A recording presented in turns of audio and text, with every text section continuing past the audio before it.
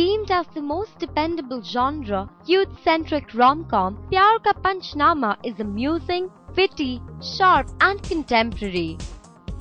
The film stars Kartikeya Tiwari, Rayo Bakhirta, Divyendu Sharma, Sonali Sehgal, Nusrat Bharucha and Ishita Sharma.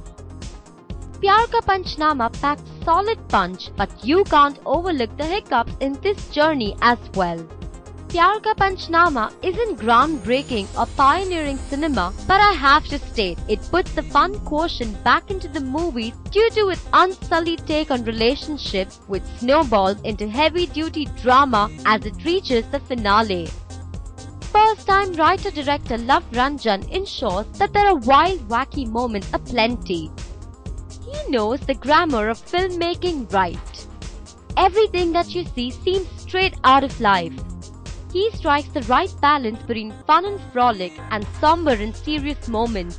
The film has an energetic musical score complementing the genre of the film. Now to the performances. The newcomers all actually are confidence personified. The show stealer is the plain looking Divyendu you take to his character and also his performance instantly. He is simply outstanding. Karthik is a bit awkward initially, but his performance grows on you gradually. He's incredible during the final moments of the film. Rayo is confident, polished, and completely in sync with his character. He conveys a lot through his eyes, which is the hallmark of a fine actor.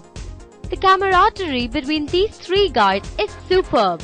Amongst the girls, it's Nushrat who walks away with a powerful role and a power-packed performance. Ishita is efficient, especially in the sequence when she lashes out at the Divyendu. Sonali is perfect for her part. On the whole, Pyaar Ka Punchnama has a single point plan of engaging and amusing the spectators by telling a story which is unusual yet relevant. It's radiantly good cinema that needs to be lauded and encouraged. Strongly recommend it, go for it.